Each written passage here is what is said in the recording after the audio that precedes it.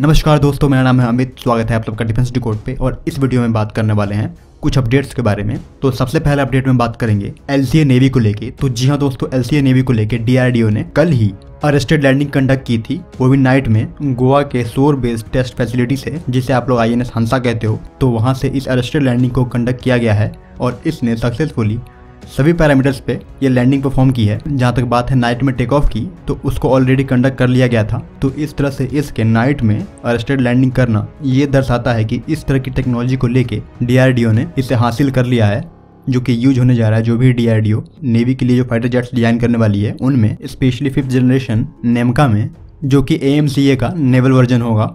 अब बात कर लेते हैं कि कौन कौन सी टेक्नोलॉजी को एलसीए नेवी ने प्रूव कर दिया है और किस तरह से ये डिफरेंट है एयरफोर्स के जो भी आपके एल सी एयरक्राफ्ट है उनसे।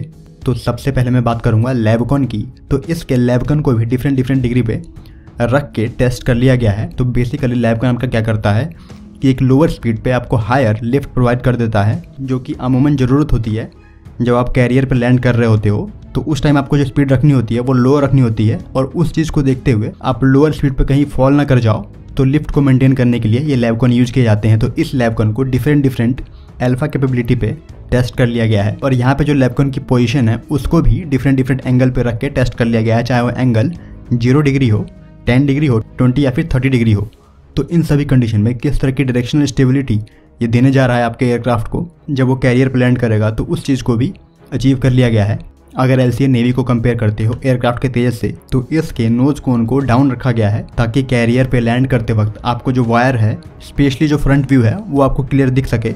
इसलिए थोड़ा सा नोज़ कोन को डाउन एंगल पे रखा गया है और एयरफोर्स के तेज के कंपेयर में इसके जो लेग्स हैं, उसको भी काफ़ी स्ट्रॉन्ग बनाया गया है और व्हील्स के बीच में जो डिस्टेंस है, उसको भी थोड़ा वाइड रखा गया है ताकि जब आप एक हायर स्पीड पे लैंड करते हो तो जो इम्पैक्ट पड़ता है इन व्हील्स पे उस लोड का डिस्ट्रीब्यूशन एक हायर स्पीड पे सही से हो सके तो इसके लैंडिंग गियर को जो एयरफोर्स का लैंडिंग गियर है, उससे मज़बूत बनाया गया है। तो ये कुछ की डिफरेंस थे और इनको टेस्ट कर लिया गया है सभी पैरामीटर्स पे।